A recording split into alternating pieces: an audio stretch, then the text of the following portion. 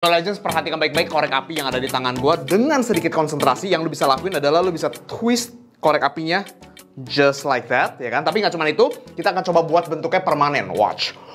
Kalau gue tiup kayak gini nih korek apinya stay in place just like that. Dan gue bakal ajarin kalian semua gimana cara ngelakuin trik sederhana ini sesaat lagi. Jangan ke mana-mana di sini aja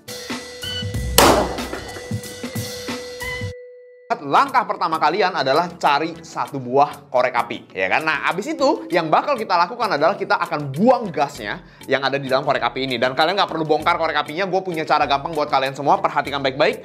Yang gue biasa lakukan adalah gue pakai karet gelang, ya, dan gue akan tekan pedal gasnya dengan karet gelang ini. Nah, jadi langkah pertama gue adalah gue bakal ambil karet gelang, and then gue sangkutin tepat di pedal gasnya, and then gue akan double check Gue akan coba dengerin apakah gasnya keluar atau enggak. Kalau gasnya gue rasa belum keluar atau keluarnya terlalu sedikit, ini berarti karet gelangnya itu kurang nekan. Nah, jadi yang bisa kalian lakukan adalah kalian tinggal tarik karet gelangnya sekali lagi, pelintir, and then gunain karet gelang yang sama untuk tekan pedal gasnya just like that.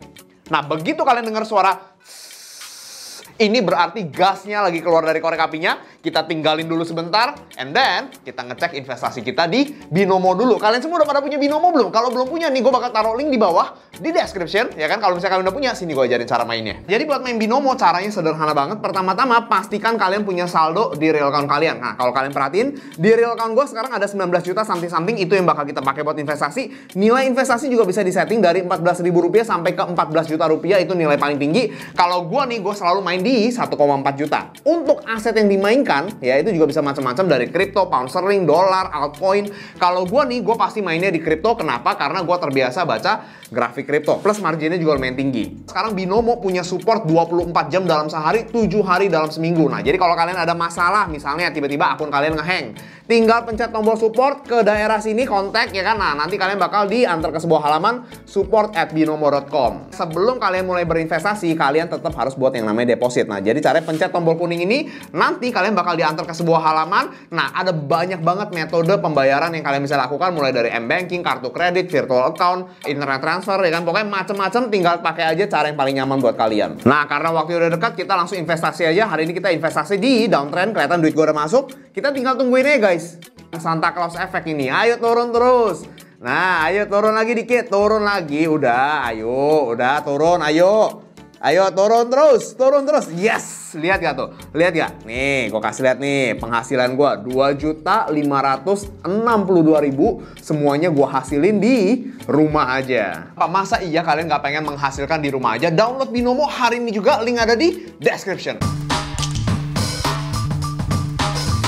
Setelah gasnya habis ya kan dan kalian pastikan gasnya benar-benar habis buka karet gelangnya and then kita bisa mulai prosesnya. Kalau kalian perhatikan di meja gue udah siapin beberapa korek api. Nah, ini yang bakal kita pakai buat uh, memelintir korek api ini. Nah jadi uh, yang lu bisa lakuin adalah lu ambil uh, korek apinya lu nyalain and then lu tempelin apinya di sisi-sisi korek api ini. Nah jadi lu tempel-tempelin apinya sedikit and then lu mundur sedikit ya kan and then lu lihat lagi ya kan posisinya right And then lu bakar-bakar lagi, right? Ini yang gue lakuin. Ini lu bisa pakai cara lain. Banyak orang yang ngajarin pakai kompor, mungkin bisa juga. Tapi gue berasa kayak kalau gue pakai kompor itu gue nggak begitu uh, bisa menilai uh, apakah ini bakal meleleh atau nggak. Ngerti gak maksud gue? Nah jadi gue tetap berasa feeling gue itu jauh lebih aman, jauh lebih cun kalau gue pakai korek api and then gue leleh-lelehin sisinya seperti ini. Dan kalau lu perhatiin nih, uh, korek api ini gue setting agak sedikit besar sedikit ya kan ke apinya. Kalau misalnya lu mau kecilin dikit juga boleh, nggak ada masalah. Kalau lu mau lebih aman ya, ini sedikit tips ya, lu harus agak sabar dikit.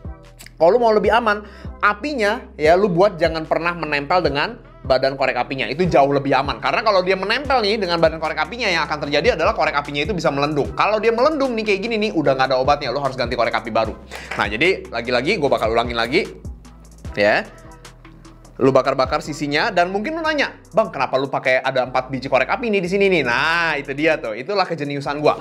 Nanti begitu lu nyalain, ini bakal makin lama makin panas. Uh, lu istirahatin dulu sebentar, and then lu pakai korek api kedua untuk ngebakar uh, badan korek apinya, ya. Dan lu bisa ngelihat ini uh, udah siap atau belum untuk dipelintir.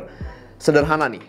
Caranya adalah ya, lu perhatiin uh, warnanya. Nah, jadi ketika korek api ini, ini kan bahannya dari plastik nih. Begitu dia meleleh nih, plastiknya itu bakal makin mengkilat. Nah, begitu dia makin mengkilat nih, itu berarti dia itu udah siap untuk dipelintir. Nah, di sini gue udah ngeliat ini kayaknya udah lumayan aman. Ya, hati-hati. Ya kalau lu berasa ini kayaknya udah mulai kepanasan, pinggirin lagi korek apinya, pakai korek api yang baru. Ya mungkin kalau kompor mungkin jauh lebih gampang, jauh lebih praktis. Tapi entah kenapa gue nggak pernah bisa nebak dengan akurat kalau pakai kompor. Ya korek api selalu uh, jadi way to go gue. Nah kalau lu bisa lihat kayak gini nih, ini gue kira-kira aja ya. Yang gue lakuin adalah gue tinggal pelintir korek apinya ke samping, just like that. Kalau misalnya kurang nih, ya lagi-lagi yang lu bisa lakuin adalah lu tambahin lagi apinya, ya ini cepet-cepet aja, jangan jangan lu tempel terlalu lama. Lu jalan-jalanin aja apinya di sekitar korek api seperti ini, right? Dan jangan lupa ya, semua sisinya harus kena. Jadi pinggiran korek apinya, sisi lebarnya, sisi sisi sempitnya itu harus kena semua. Kenapa? Karena kalau lu paksain pelintir nih, tapi semuanya tidak uh, rata, nanti lu yang bakal susah sendiri, ya kan? Nah, di sini kan enak tuh. Tinggal lu pelintir dong tuh. Ya kan? Nah, begitu lu pelintir nih, ya ini yang biasa gue lakuin. Yang gue lakuin adalah gue taruh dia di meja, and then gue bikin dia flat kayak gini flat ke arah sini. And then dalam hitungan detik nih, dia akan permanen stay di situ. There you go. Ya, yeah. simple nggak? Simple ya kan? Nah sekarang kalau kalian udah mengerti gimana cara buatnya, sekarang kita masuk ke bagaimana cara mainnya.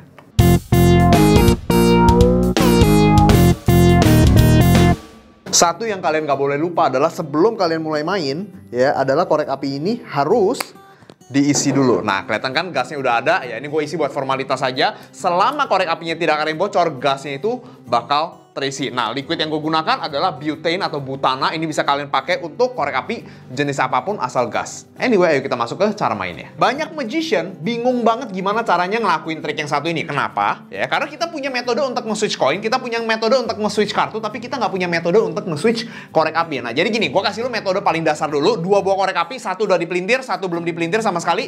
Yang udah dipelintir gue bakal taruh di pangkuan gue. Bayangin skenario kita lagi di cafe, lagi nongkrong sama teman-teman, korek api di meja dipakai buat ngerokok sama teman-teman. Ketika percakapan lagi asik ya kan, ketika teman-teman gak sadar, lu dengan simple taruh itu korek api di pangkuan lu, and then lu naikin korek api yang uh, udah kepelintir. Dan teman-teman gak bakal ada yang curiga. Kenapa? Karena gak ada yang nyangka lu bakal main sulap. Paham gak ya kan? And then lu ambil rokok sebatang lu ngerokok and then lu kasih lihat mereka eh gue kasih tuh satu trik sulap nih. Perhatiin bener ya korek api ya. And then di depan mata mereka lu twist korek apinya just like that, ya kan? And then lu kasih mereka periksa korek apinya. Ini adalah metode yang dilakukan oleh magician selama bertahun-tahun. Tapi tenang, Rinku ya kan punya metode yang lebih ganteng lagi. Jangan ke mana-mana, di sini aja. Metode kedua yang bakal gue share ke kalian semua adalah metode yang tadi gue pakai di opening video ini. Perhatikan baik-baik, dua buah korek api, satu kosong, satu isi. Yang gue bakal lakuin adalah, gue bakal angetin dinding dari korek api yang kosong. Ingat ya, korek api yang kosong yang diangetin. Jangan kebalikannya. Nah, abis itu, begitu gue ngecek, oh ini korek api udah aman nih, udah bisa nih dipelintir nih. Ya kan, gue langsung berdiri, ya kan, ingat kamera rolling dan ini adegan yang kalian lihat. Kalau just perhatikan baik-baik korek api di tangan gue. Dengan sedikit konsentrasi nih, lu bisa ngerubah bentuk koreknya just like that. Ya, dan gue bakal ajarin kalian semua gimana cara ngelakuin trik sederhana ini sesaat lagi. Jangan ke mana-mana,